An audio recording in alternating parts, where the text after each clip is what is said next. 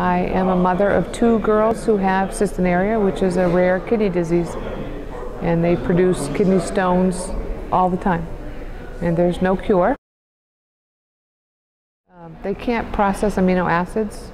Uh, it's a high protein process. We all have cysteine that passes through our kidneys. And in this case, they can't transport it back out. And so it clumps up very quickly and becomes stones. And they're very jagged and hard. And um, they usually require surgical intervention to remove. So they can go anywhere from the size of a pea to a staghorn as big as the inside of a kidney.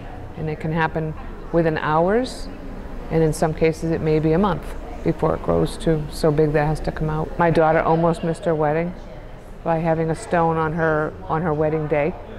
At 4 a.m. we finally got word that it had passed, so she was going to make it to her her wedding. So.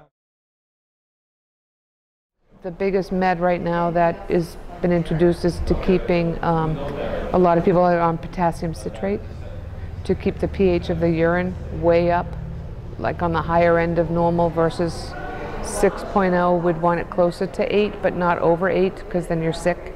So you have to balance your urine uh, and the output, obviously. Urine tests every six months to check the levels of cysteine that are in the urine, the saturation of it. Um, so that another interrupter is to do 24-hour urine tests uh, carrying a jug with you. In some cases, they're refrigerated. Some companies don't require refrigeration. Um, there, there are only two medications that are commonly used to help the uh, crystals not clump together as quickly, but the key is still the amount of water that someone would drink.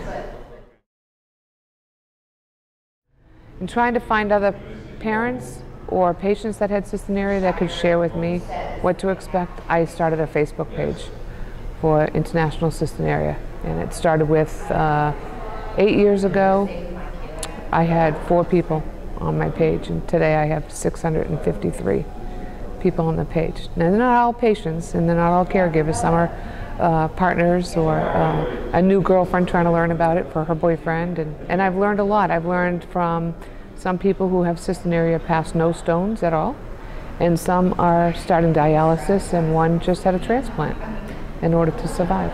So it takes its toll in all different ways. I attend as much as I can about the rare community of diseases, talking to people. We're working with a pharma company right now that's helping us um, put together our web page so it's up and active.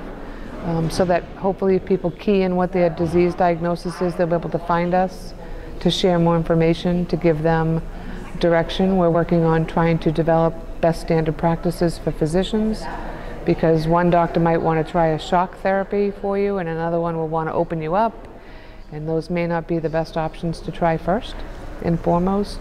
Um, we need to talk about dialysis, transplantation in the future.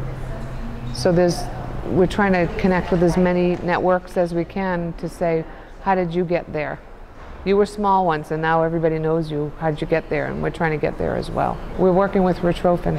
They've helped us get people to go to the symposium by helping financially. They've given us a grant to do that. Um, they've just been wonderfully supportive because they work with the rare disease community. So I know pharmas don't get a very good name, but in this case, I think you run into a few that are really there for the right reason, which is nice.